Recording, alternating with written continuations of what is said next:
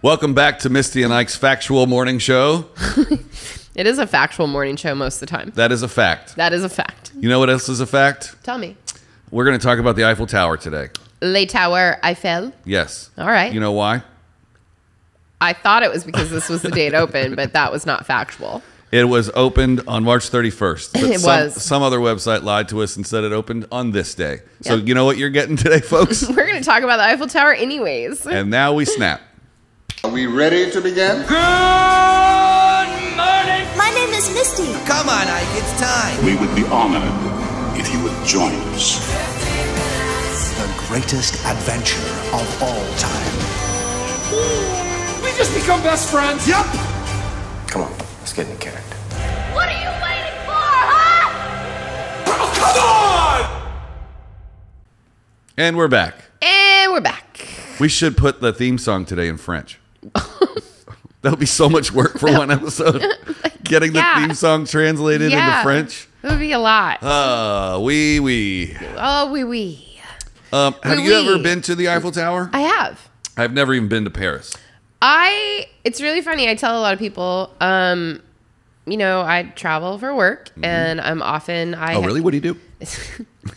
I can tell you what every concrete backstage of every arena across the world looks like. Mm-hmm.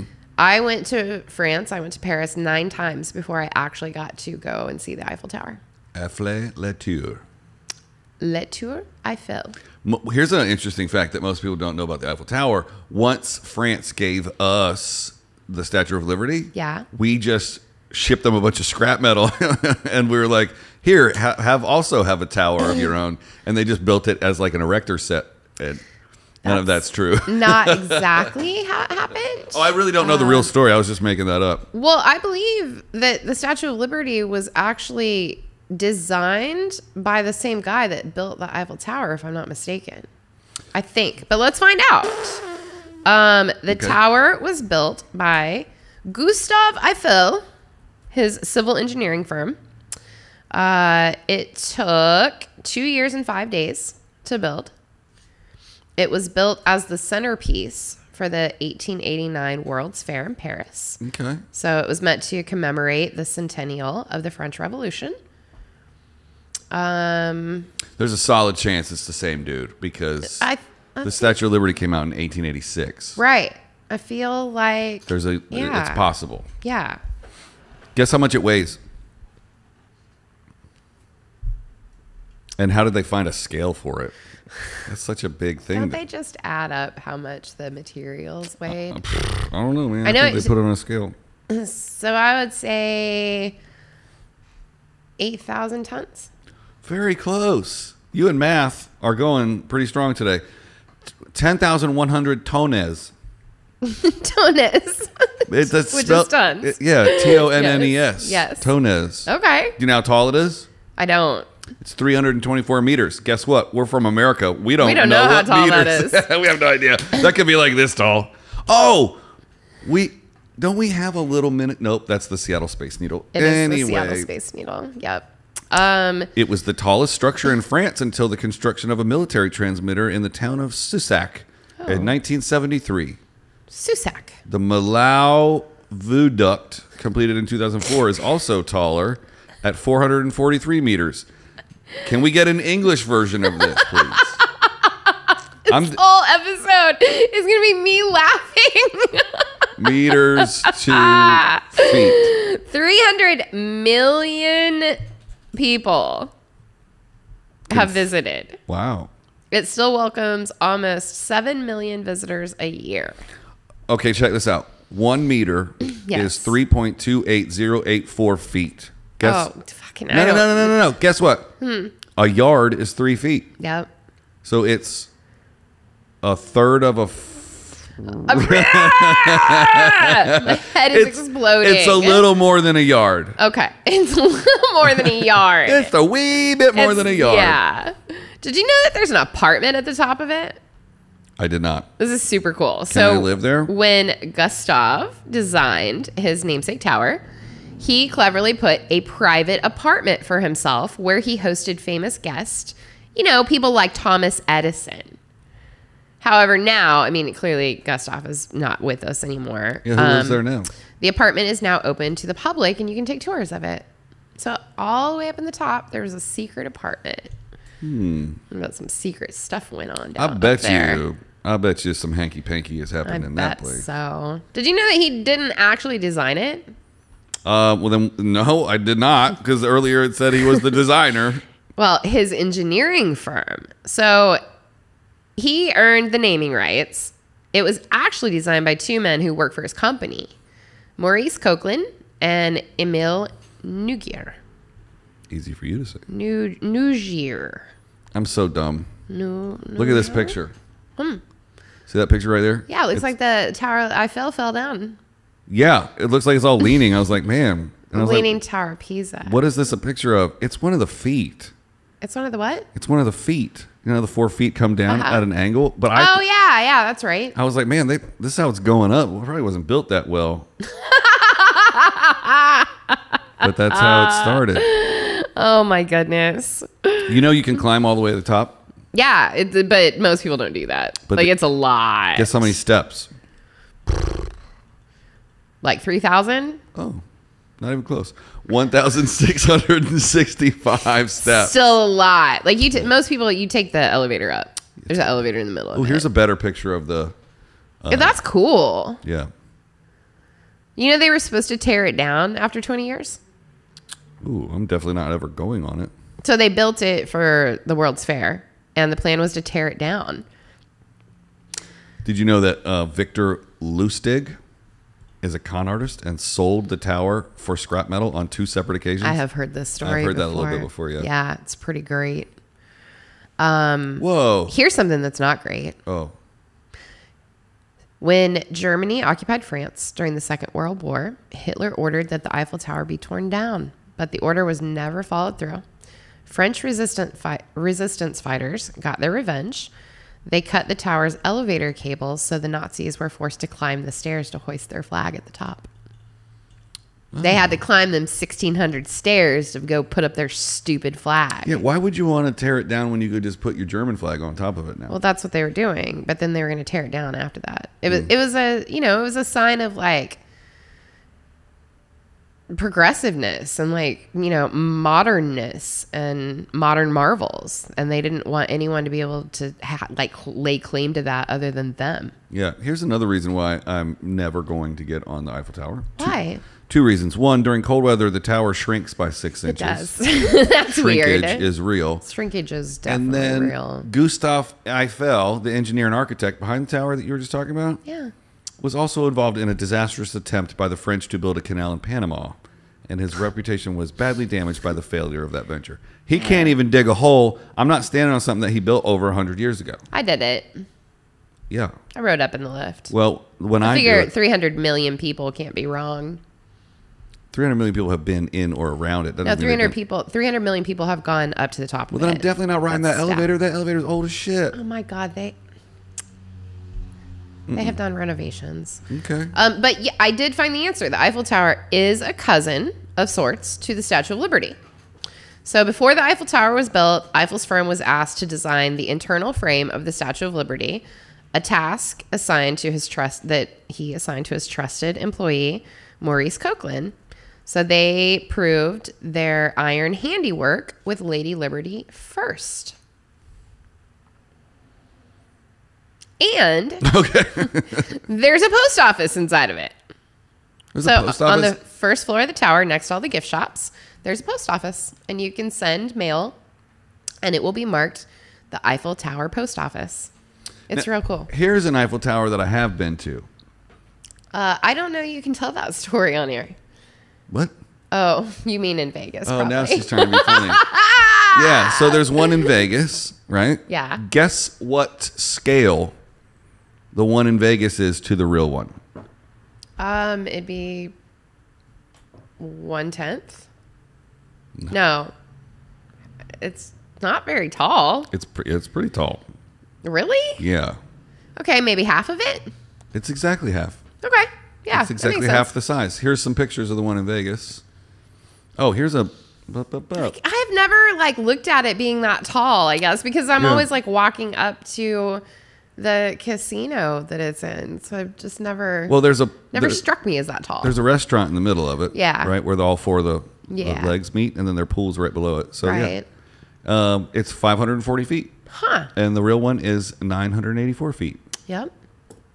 How about that meters? All right, meters. Yeah, I was recently in just near this Eiffel Tower very a lot lately. Mm-hmm. Mm-hmm. Might even be there right now. I don't know. Um, there's some more stuff inside the Eiffel Tower, or there has been. How much stuff can they fit in there? It's A like lot. it looks like an outer, just a shell of stuff. Not. Is it? When you when you ride the elevator, it's like it goes up. Like I mean, there's first of all, it's huge. like it's a lot bigger than what you think it is. It definitely outdoes the whole Statue of Liberty thing. Like when I saw the Statue of Liberty, I was like. Why is it so little? Like that's not the Oh, impression I yeah. always had. How the tall is the statue, Statue of the Eiffel Tower, on the other hand, when I walked up to that, I was like, "This thing is enormous in comparison to what I thought in my head.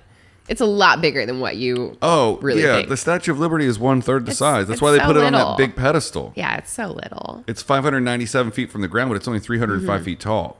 So the Eiffel Tower is three times Mm-hmm. Yeah, bigger. yeah. Um, so inside the Eiffel Tower, Mm-hmm. on the third floor, there was also a meteorology lab where they studied physics, aerodynamics, and built a wind tunnel. What?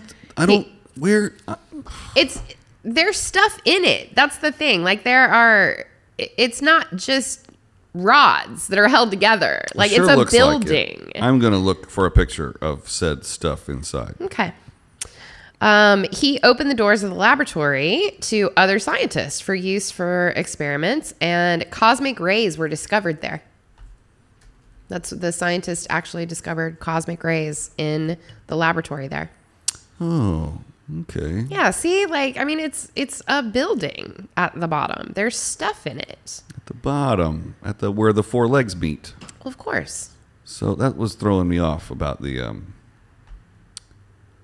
first floor, second floor, third floor thing. Mm-hmm. So now I'm going to look for a picture of the apartment at the top. Um, it moves in the wind if the weather's bad enough. Yeah, that's all big, a big boom. Brr. Easy for me to say. Big buildings do that. I hate that. Yeah, I don't like it. I don't like it at all. Um, so I think that we've talked before about when I went to the Harry Potter land and they have the room full of wands and it has the names of all of the actors in every movie. Yep. The Eiffel Tower has something very similar to that. Oh no way. The Eiffel Tower is covered in names of scientists, um, French scientists and engineers in the never 19th knew. century. Uh, they wanted to make sure that they didn't forget them. So not only did they lend their names to some of the streets in Paris, 72 of their names are engraved in the Eiffel Tower. Wow. The engraved tributes were covered up, but thanks to a restoration effort, they're once again visible. And you can see the names of such scientists as Dumas and Perrier cut into the iron. I think that's nuts. real cool. So there's a couple different apartments in there. So if you look at this picture, like this one on the left, Yeah. that's obviously where the legs are coming up, Yep. and then this one looks like it's at the top. But I don't know. Hmm. I, I don't know. And then here's a breakdown of the other top one. They had cattle up there. I mean, I wouldn't be surprised. Other dogs. Okay. Um, There's yeah. also a military bunker underneath it. like in, like in the cement underneath it. Underneath the tower's south pillar sits a snug bit of history, a secret military bunker that may connect to the nearby École Militaire via a long tunnel. The bunker has been turned into a small museum, and tour groups can explore it. I want to look at the um, elevator because there's no like straight up and down elevator. It's got to go up one of the legs, right? Let you find some photos. I mean, you've been on it. You I can have. shed a little light. No, it's, I think the pictures will be cooler That's weird. because I'm imagining people taking pictures on on the way up of it. Do all four legs have a lift? I don't think so. So here's here's a picture. It's it does go Yeah. up. It does go up the leg. It doesn't go straight up but. I'm not sure if it's on all sides. But do you have to get off at the middle part, or does the You don't have to. it does go all the way to the top. Goes right up the leg all the way up to the top. I don't think it goes to the actual top. I think it goes slightly underneath the, the top. Yeah, Like, but it curves the whole way, huh? yeah, because it's, I mean, the, the elevator, it, the elevators remind me of like modern day Ferris wheels, you know, where they're big and you fit like 20 or 30 people inside of it for a trip up. Oh, It's not like, like a two gondola. people fit in it or Yeah. something. Yeah, it's big. Okay, Yeah. because it's probably pretty slow. Yeah. Let's see if real quick we can find a time lapse. Ooh, that yeah. That's what I was hoping you could see, you know, find some photo that kind of gave the impression of that. There is a champagne bar at the top though, by the way.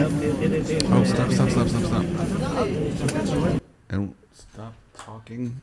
And all right, here's a time lapse of the Eiffel Le Terreur. This is um, just us. If you're just listening as we're playing a time lapse in a video, so you should go to YouTube or Facebook or Instagram and watch this. And now I feel like I've ridden the the elevator. That would be a serious workout to do those stairs. Oh yeah. I mean they're small groups of stairs, so you know, it's not like you're going straight up with no stops or breaks or anything. Oh, this isn't. This is not a time lapse. It is a. It is a real time. Yeah. Yeah. C'est des gens qui vont au restaurant pour le premier étage. Only the people go to the I think that's enough of that. Yep.